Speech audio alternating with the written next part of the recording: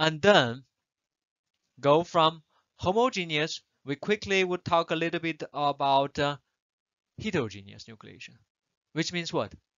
The precipitate occur not randomly uniformly, but at a specific uh, location. Specific, quite often we call defect sites.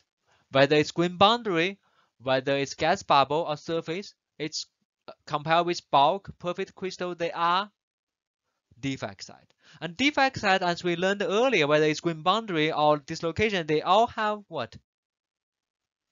Excess energy.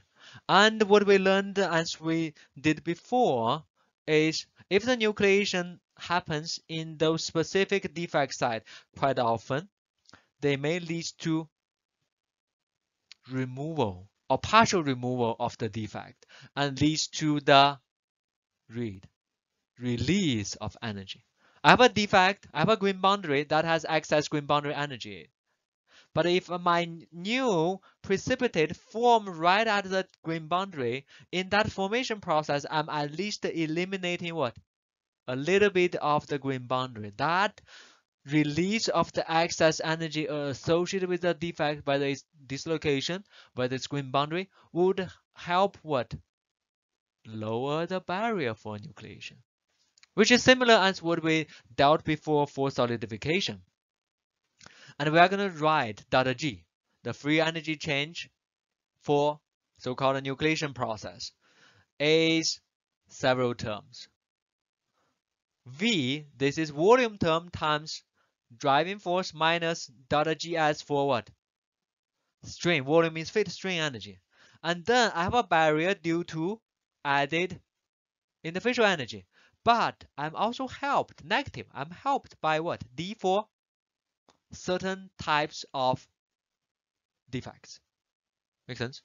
Because whether I'm eliminating a part of a grain boundary or I'm eliminating part of a dislocation, I'm releasing some energy associated with the so-called defect.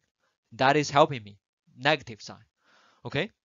And then the, the simplest one or most common one would be something like this. Alpha, alpha, in between I have beta. Which one is our precipitate? Beta is occurring where? In the two grain boundary, right? And then we said, as we dealt with before earlier, for let's say on the, the balance of force, we have this. The gamma alpha alpha is trying to pull which way? Gamma alpha alpha between alpha and alpha is trying to pull which way? Towards left? Well, the gamma alpha beta is trying to pull it towards right. And this is our balance of kind of force equation. Make sense? And determine depending on this ratio, we would have different uh, so-called wetting angle. Okay. And then the energy change process. As we said, the energy change process would be assuming neglecting the strain energy, that would be the volume term plus we are creating what? Interface between alpha and beta, but at the same time we are eliminating what? Grain boundary between alpha and alpha. This is helping us. And uh, the critical size as we dealt before, we can still get the critical size. It's as if it's the same as it's homogeneous, making simple assumptions. Okay, and then we can also get uh, similar to solidification, get the ratio between heterogeneous versus homogeneous. Remember, we earlier we treated as the so-called sphere cap. Sphere cap. With this ratio is just the sphere cap volume divided by the total volume. Sphere cap volume divided by total volume, which is a function of theta. What is that theta? Kind of quote unquote uh, wetting angle. Make sense? That's similar to what we dealt with before. Okay, and uh, if we go further for grain boundary, we have two grain boundary. It would reduce if we nucleate two grain boundary, it uh, eliminate that part of boundary, reduce the barrier. And sometimes people may find uh, the nucleation may happen at three grain so-called edge. Three grain come together. or even four grain come together in a corner, and all those would lead to the reduction of the barrier. And as a result, we would have this plot. We're plotting the relative ratio of hetero nucleation means nucleation at a specific site versus homogeneous with respect to cosine theta, which is essentially that angle, right? Wetting angle. What we see is for a same wetting angle, for the same relationship between the host material and the new phase, the interfacial energy, which one is lowest in barrier? For the same cosine theta, which one is lowest? So-called the grain corner is lowest. Then so-called the grain edge, three grain come together. Then grain boundary. Make sense? And then of course that will be the uh, homogeneous, much higher. This is what uh, we got. For the same wetting properties, same interfacial energy situation, the precipitate would where would it appear from energy point of view? It wants to appear in the corner and then in the edge and then in the grain boundary. Okay. The matching of the certain crystal plane would lead to further reduction in the system energy. It's the same we can say for surface energy and inclusion. Similarly, we can say about dislocation. The precipitate may also occur at certain so-called dislocation, a specific defect site. It helps release the strain energy and lowers the barrier. And uh, it also happens, may happen at vacancy site. Vacancy means a missing atom. The precipitate may happen there. It also helps the diffusion rate. So net net,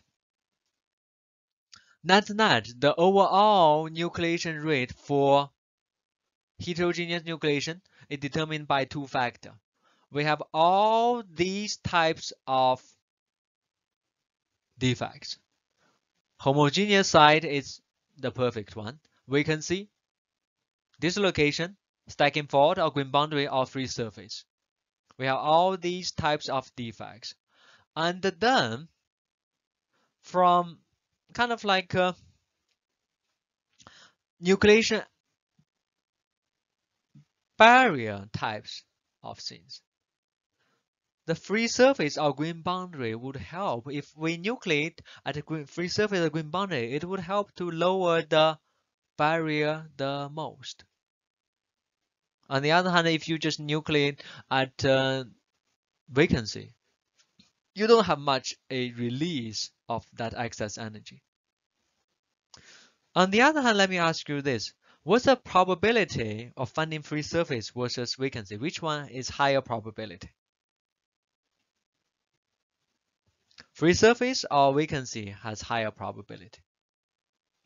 Quite often, no, it's actually the vacancy. If you think how many atoms are located at the very surface versus how many atoms are vacancy, it's much lower, much, much lower. As a result, the, prob the probability decrease. The concentration decrease. You have the most this vacancy followed by okay dislocation followed by grain boundary followed by over many many atoms you can find the grain so-called grain boundary followed by many many many more material find free surface the probability of density decrease so it's kind of like the overall nucleation rate would be determined by these two factors the probability of that site versus the energy for that site. As a result, this so-called N4 nucleation rate, heterogeneous, would be all these terms times together. CD is what? The so-called defect C4 concentration or density. This GM is probability of overcoming the migration or diffusion barrier. This term, G star exponential term is probability of overcoming this barrier. for nucleation. So if we assume similarly between homogeneous and uh, heterogeneous, assuming a similar diffusion barrier, then whether the nucleation rate goes through heterogeneous versus homogeneous would be determined by the concentration term times the difference exponential term of the difference of overcoming the difference of overcoming the barrier. Okay? So I